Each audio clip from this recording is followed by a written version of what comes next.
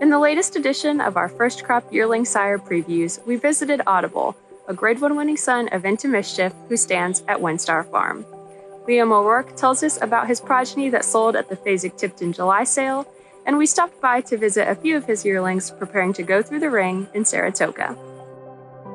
Audible being a son of Into Mischief, Into Mischief's been such a great stallion to so many people, and we think that Audible is among, you know, the very best of the physicals um, by Into Mischief. You know, right from the get-go, it was very positive on Audible, the buzz around town.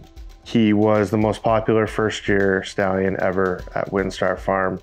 Um, his first crop, he's has over um, or roughly 160 live foals in his first crop and demand for him has just been um, strong, um, extremely strong through all three years he's been here.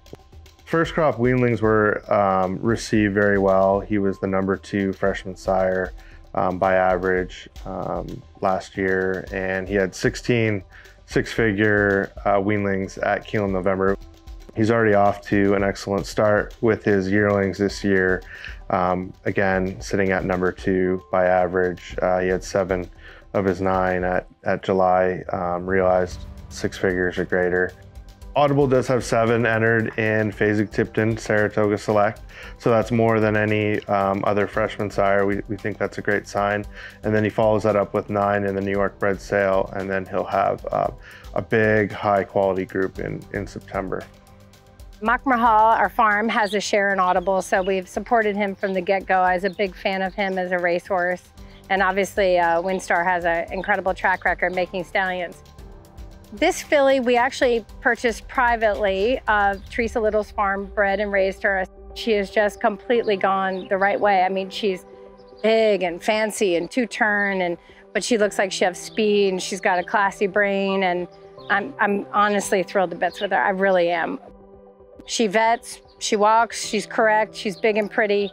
Um, you know, the kind of the, the type of horse we really like to take to Saratoga. The, the more you look at them, the more you like them. And she has that kind of personality to go along with that.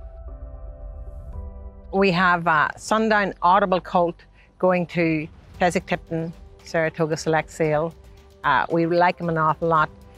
Audible added a lot of size and range and scope to Sundown Mare and he's certainly one of her bigger foals. He's uh, tall, lots of leg, great length, very nice mover, and a great temperament. We like him a lot. They're a very consistent group. Um, you know, he throws great substance, um, plenty of length, uh, great quality, good bone.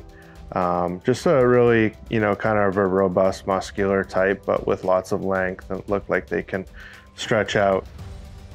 He was a precocious horse. He was really good at the two-year-old sale, um, breezed really fast, um, and then went out and, and, you know performed as a two-year-old on the racetrack. So I think there's going to be that precocity there.